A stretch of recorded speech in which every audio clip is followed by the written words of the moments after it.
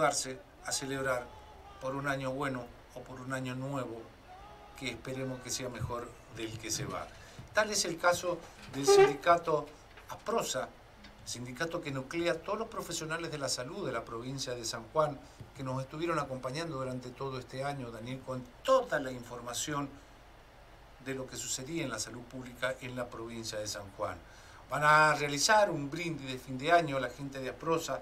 Esto va a ser el próximo día jueves 7, mañana 7 de diciembre, a las 21.30 horas en la cervecería ancestral. Pero bueno, vamos a conversar un poquito con la gente de Asprosa, Daniel, para que nos diga qué año terminamos y qué, qué esperan para el año próximo, ¿no? Le damos la bienvenida a la secretaria general de Asprosa, que es la Asociación de Profesionales de la Salud eh, acá en la provincia de San Juan, la licenciada Victoria Trincado. Muy buenos días, licenciada Daniel Núñez Vivares y Daniel Núñez los saludan desde, la saludan desde los cronistas de la mañana, desde la 101.7 Radio Alas. ¿Cómo le va, licenciada? Buenos días. buenos días, ¿cómo les va, Daniel y Daniel?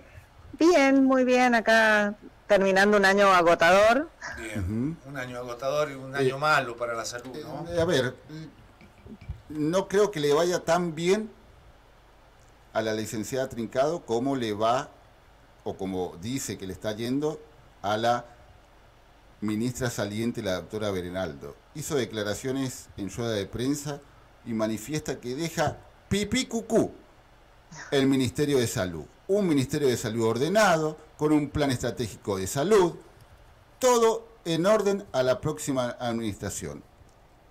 ¿Esto es tan así, licenciada? No, desde el punto de vista de nosotros, de la parte gremial e inclusive de muchos personal de salud, no, no es así. No está ordenado, no está en condiciones. Eh, realmente este estos últimos meses, desde que perdieron las elecciones, eh, han hecho estragos, eh, han hecho nombramientos masivos, algunos sí, otros no. no le han dado lugar justamente a la gente que ya viene trabajando, que tiene carrera, que ha logrado conseguir nuevos títulos, no los han ingresado a la carrera, pero los amigos sí. Claro de alguna forma el salud, más allá de lo que pueda decir esta ministra que se va, ministra ausente que tuvo la provincia de San Juan en materia de salud, hasta inclusive... polémica, Daniel. Hasta inclusive en épocas de pandemia. eso, polémica. Recordemos el escándalo de salud pública de la ministra que eh, ingresando a un eh, hizo traer a, un amigo de una, médica de Buenos Aires en el avión sanitario con COVID, bueno, entrando por clínica médica, eh, echando, inculpando a una profesional de la salud. Bueno, era, hermano profesional, es un, camionero hermano de una profesional de la salud. Bueno, todo esto, sin ninguna duda, deja un Ministerio de Salud tal cual usted nos está eh, mencionando, y con estos ingresos que lamentablemente siempre, siempre suelen ocurrir, pero creo que ahora se le fue la mano a la gente del gobierno de la provincia de San Juan. Hay más de 2.000, nombramientos de la administración pública, de los cuales muchos son en salud, ¿no?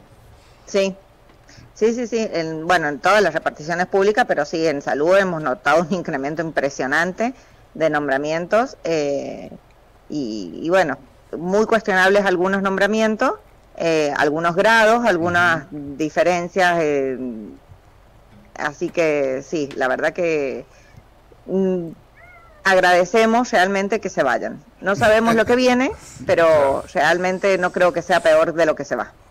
Están contando las horas, ¿cierto, licenciada? Totalmente. Es más, desde hace ya más de un mes que están muy desaparecidos, que están dedicándose a hacer inauguraciones en las cuales no hay capital humano, porque los nombramientos y de los conocidos y todo los han ya acomodado acá en capital, digamos, no, no en las zonas alejadas, no donde se necesita gente. Eh, así que se van a encontrar con un ministerio bastante revuelto. Eh, licenciada, desde su punto de vista, eh, ¿la gestión entrante tendría que rever todos estos nombramientos? Sí.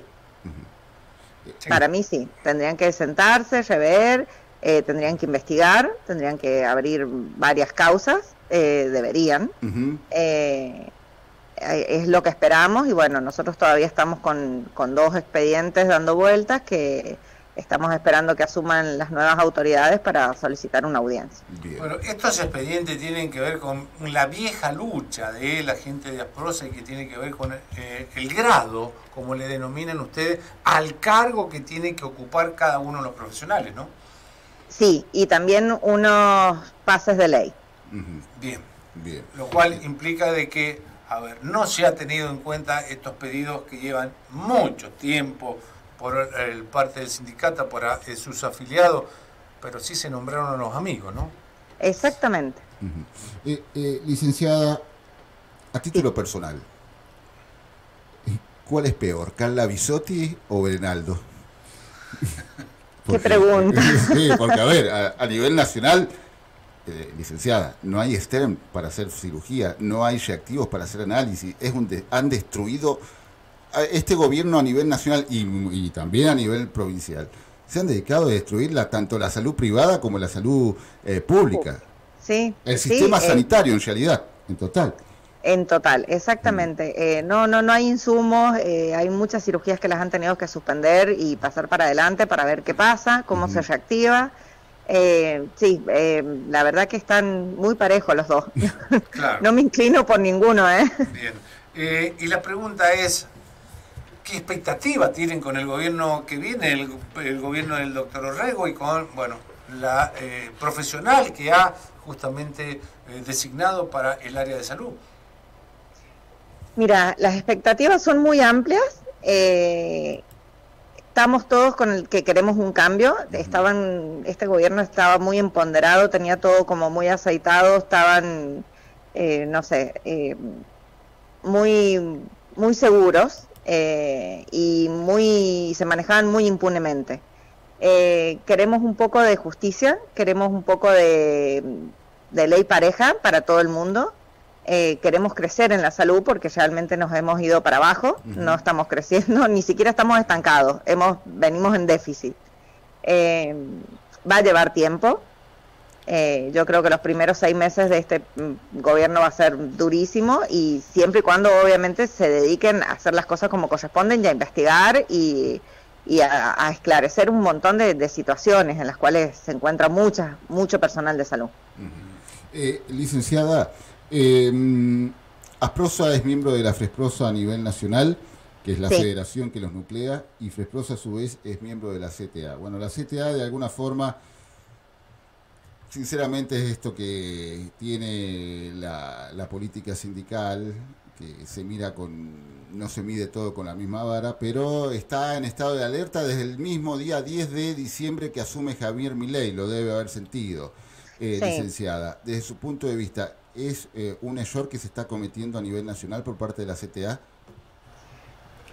todos tenemos distintas visiones, distintos puntos de vista. Eh, el tema es que están, bueno, a, ver, eh, cuando se vienen cambios, eh, la gente por ahí no reacciona bien, porque no sabe qué es lo que se viene o cómo se viene, o están como muy acostumbrados a hacer siempre lo mismo. Yo creo que les va, que les falta tiempo, que se han adelantado en dar opiniones. hay que ver, eh, están todos muy en contra de, la privatización de la salud. Eh, yo creo que no se va a lograr la privatización de la salud. Eh, entonces es, un, es tiempo. Yo creo que se han apresurado en ese sentido. sin ninguna duda, una gestión nueva, no solamente nueva para gobernar, sino nueva en gobernar, teniendo en cuenta que mucho, hasta inclusive el propio presidente, no tiene experiencia política. Eh, tal vez pase lo mismo en la provincia de San Juan, más allá de la experiencia política que puede haber logrado el gobernador electo siendo intendente y siendo diputado eh, nacional. Bueno, está conformando un gabinete con muchos funcionarios que tampoco tienen mucha experiencia en política, lo cual esperemos ¿no? que dentro de lo que es el área de salud tan, tan golpeado, todas las áreas están golpeadas, pero creo que si hay algo que hay que tener en cuenta y hay que cuidar es la salud, y mucho más cuando se trata de la salud pública. Mire, ustedes y mucha gente nos ha llamado diciendo de que tienen que venirse el día anterior, tanto al Hospital Rawson como al Marcial Quiroga, gente que viene de departamentos alejados donde hay hermosos hospitales nuevos, pero están los hospitales nada más, donde no hay mucho capital humano fundamentalmente y mucho menos en las especialidades, y se tienen que venir el día anterior, dormir en estos hospitales para el día siguiente tener uno de los numeritos de los 100 o 150 que dan para la atención justamente en algunas de las especialidades. Esperemos que esto empiece a cambiar y a variar con el nuevo gobierno, ¿no? Sí, bueno, lo único positivo que vemos es eso, que no están, em, no, o sea, al no tener a lo mejor la experiencia política que llevan los demás, eh, hay muchas cosas que las van a hacer correctamente porque no saben hacerlas de otra manera. Claro. O todavía no encuentran la forma de hacerla de otra manera. No es tan eh, mañoso todavía. Claro, no quería decirlo de esa manera, pero sí. Eh, entonces, esa es la, esperanza que tenemos. Y, y, que una vez que empiecen a hacer las cosas, las empiecen a hacer bien, ya continúen con esa línea. Que no se pongan mañosos. Rápidamente, ¿no? Esperemos que, bueno, que las cosas se hagan como tienen que ser, porque recuerdo que hace ocho años, cuando asumió eh, el gobernador que se va, la sociedad tenía muchas expectativas, porque se iba un viejo, viejo político de la política, como es eh, Gioja, venía uno más joven, con eh, aires nuevos, y la verdad que en ocho años defraudó mucho, muchos puentecitos bonitos, pero salud pública destruida, educación destruida, seguridad destruida, todo mal a nivel nacional y a nivel provincial. Pero vuelvo a insistir, no creo que algo muy fundamental es la salud, porque así como hablamos de la salud pública, también la salud privada está pasando por un mal momento, teniendo en cuenta lo que pasa con las obras sociales y la obra social provincia, una de ellas lo cual implica de que es mucho lo que hay que empezar a trabajar y arreglar en materia de salud en la provincia y creo que también en todo el país, ¿no? Algo que seguramente ustedes hablan con la gente de esposa, ¿no? Sí, eh, es lo que yo te decía, eh, salud está en decadencia, eh, no, hemos, no hemos avanzado, no nos hemos estancado, estamos para atrás. Claro. la obra social provincia realmente es, no sé, no tiene nombre, eh, no podemos utilizarla, eh, eh, nos descuentan, o sea, nos obligan a tenerla, no nos da beneficio. Es, todo un tema, es, muy importante ese tema y, estamos, bueno, esperando que realmente, por lo menos, si no avanzamos, que nos estanquemos, pero que no sigamos en decadencia. yo le voy a dar nombre a lo de la obra social provincia y creo que tal vez usted lo comparte, licenciada Trincado. 200% de inflación anual destruye todo tipo de sistema medianamente racional, ¿no le parece? Sí, sí, totalmente. Eh, sí, sí. Y, a ver, eh, la, sabemos y tenemos una noción muy clara de que van a venir uno o dos años muy severos también, eh, pero bueno, en algún lado hay que hacer ajustes y en algún lado hay que hacer un corte, y bueno, esperemos que sea la gente adecuada para poder hacerlo. Eh, exactamente, ¿no? Eh, año duro, por lo menos el 2024 va a ser un año muy duro. Lo ha dicho hasta inclusive el propio presidente que va a asumir el domingo, Javier Milei, manifestando justamente esto de que va a haber un año con una dureza económica y que de alguna forma va a haber hasta, dijo, esta inflación. Esto es disminución en la actividad económica con una alta inflación lo cual va a implicar a todo. Pero en algún momento tenemos que empezar a ordenar la casa, ¿no? Para que ordenarla y que en este tiempo que nos va a llevar este dolor, empezar a vivir con la normalidad que significa tener una inflación menor, que significa tener una buena salud, una buena educación, una buena seguridad, una buena justicia. En algún momento hay que empezar, ¿no? Exactamente. Eh, licenciada, la lleva el plano de las paritarias. Eh, le van a solicitar seguramente a las nuevas autoridades, eh, estamos hablando de, empezando por el ministro, el doctor Amílcar Dobladez, tener paritarias de salud propias, ¿cierto, licenciada? Sí, sí, sí, esa es una de, las de las propuestas.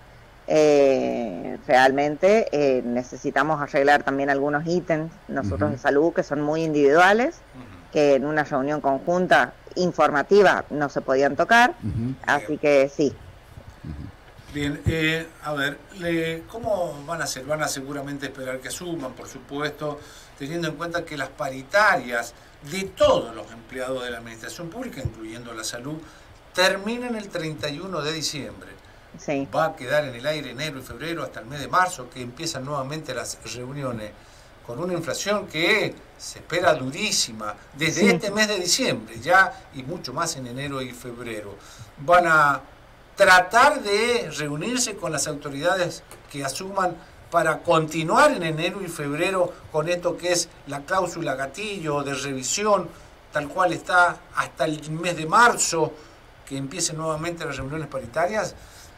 Sí, sí, sí, sí, por eso vamos a luchar. Nosotros ya tenemos las notas preparadas para el, lunes ingresarlas, eh, solicitando la audiencia para hacer las presentaciones formales, para conocernos y bueno, para charlar este tipo de temas eh, más puntuales. Eh, licenciada, volver a verse las caras en marzo es demasiado tarde, ¿cierto? Y sí, son van a ser meses muy duros, es mucho tiempo. Eh, bueno, ahora, no sé, ¿le queda otra? Sí, le hago la última que tiene que ver antes de, charlar un poquito de lo que va a suceder mañana a partir de las 21 horas, 21 a 30 horas en eh, la cervecería ancestral, licenciada. Eh, a ver, eh, hay informaciones, bueno, esto es que, bueno, se vienen reducciones en todos los aspectos en lo que hace a la parte de la infraestructura, estamos hablando de personal, por lo menos a nivel nacional. Este gobierno se está yendo con una catarata de nombramientos, sobre todo en la salud pública. Desde su punto de vista, a la salud pública, le hace falta más personal, licenciada, sacando el hecho de que nombren acomodados y todo eso, o hay que reorganizar para que no suceda lo que sucede hace muchísimo tiempo, que en las zonas periféricas no hay profesionales y todo termina resonando en los dos grandes nosocomios, Marcel Quiroga y Hospital Rawson hay que reorganizar el personal. Eh, hay, es más, hay mucho personal que está o que se quiere trasladar a alguna zona. Eh, yo creo que hay que estudiar muy bien, eh, por eso decía que tienen que venir y hacer una, una, estricta investigación. Pero sí, yo creo que con el personal, no sé en realidad los números exactos de cuánto personal más han, ha entrado estos, estos últimos tres meses, eh, pero hay que hacer una redistribución. Y hay que ofrecerles a las, a las especialidades, sobre todo, eh, un extra, un algo más para que tengamos especialidades en todos lados, en todo San Juan, que la gente no se tenga que venir un día antes a dormir acá para poder ver un especialista. Eh, y que los hospitales realmente de tercer y cuarto nivel sean para tercer y cuarto nivel. Nosotros seguimos haciendo atención primaria en el Hospital Rawson, entonces cuando realmente llega una verdadera urgencia, los médicos están agotados, están cansados. Eh, y bueno, y eso provoca errores. Claro, sin ninguna duda, ¿no? Eh, tener una especialidad que tenga que atender 100 pacientes es una verdadera locura, ¿no? Sí. Porque tampoco le das la calidad de atención que se merece el paciente. Yo me imagino que cuando lleva por el, paciente 30, ya no tiene ni idea cuál fue el paciente número uno, ni se acuerda qué patología tenía o qué diagnóstico, porque es inhumano en cierta cantidad de horas atender tanta cantidad de pacientes como son la cantidad de números que suelen dar, por lo menos lo que está sucediendo en el Marcial Quiroga, que dan 100 números para, qué sé yo, un urólogo, le, doy, le tiro una especialidad. 100 pacientes para un urólogo me parece una barbaridad. Exactamente. Ahora sí, coméntenos qué va a pasar mañana con la gente de Aprosa que se va a reunir en este brindis de fin de año acá en la cervecería ancestral a las 21.30 horas. Coméntenos. Bueno, es una reunión de despedida de fin de año, de, comienzo de, año nuevo, de la lucha que hemos tenido y bueno, esperemos que los cambios sean lindos. Eh, es, el, es un presente o un detalle, un, reconocimiento que le hacemos a nuestros afiliados, con los cuales nos gusta compartir, estar, poder estar con ellos, charlar eh, un poco más distendidos. No solo problemas, sino también eh, poder pasar un momento agradable. Eh, licenciada, por favor, díganos, eh, repítalos para todos aquellos profesionales de la para salud. Para todos los afiliados. Exactamente, para, todos los afiliados. Eh, el lugar y la, y la hora eh, en donde se va a llevar a cabo este brindis que ofrece Asprosa para todos sus afiliados que los han estado acompañando en estos años de lucha y sobre todo en este último año, licenciada, en donde, bueno, han tenido que transitar pasillos del centro cívico, no solamente en eh, trabajar en sus lugares de trabajo y haciendo asambleas, sino que también nos consta cómo eran maltratados eh, todos aquellos que iban por eh, el pase a grado, de pase a ley y el tema de grados que han sido maltratados y nunca tuvieron respuesta por parte de esta gestión, licenciada. Exactamente. Eh, ha sido durísimo el año, mucho, mucho trabajo. Eh, mm, una pared muy grande hemos tenido por delante. Eh, y bueno, la idea es esa, que mañana 7 de diciembre a las 21.30 en la cervecería ancestral nos despejemos un poco, brindemos por algunos logros y brindemos por los logros que tenemos que conseguir.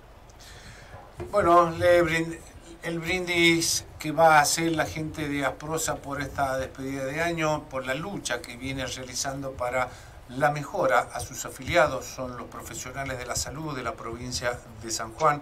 Le decíamos, bueno, desde acá, ¿no? Este, un mejor 2000, 2024 y que la salud pública realmente empiece a encontrar la normalidad que todos los sanjuarinos se merecen porque la salud pública es pública y es de todo. Muchísimas gracias. Muchísimas gracias, licenciada, por su Muchísimas gracias a ustedes y los espero mañana. Bueno, como no, muchísimas gracias. ¿eh? Fue la licenciada Victoria Trincado, secretaria general de Asprosa, eh, acá en la provincia de San Juan, que es el sindicato, es la Asociación de, Trabajadores Profesionales de la Salud eh, en nuestra provincia. faltan tres minutos, algo que no tiene desperdicio, nota de tapa del diario Clarín.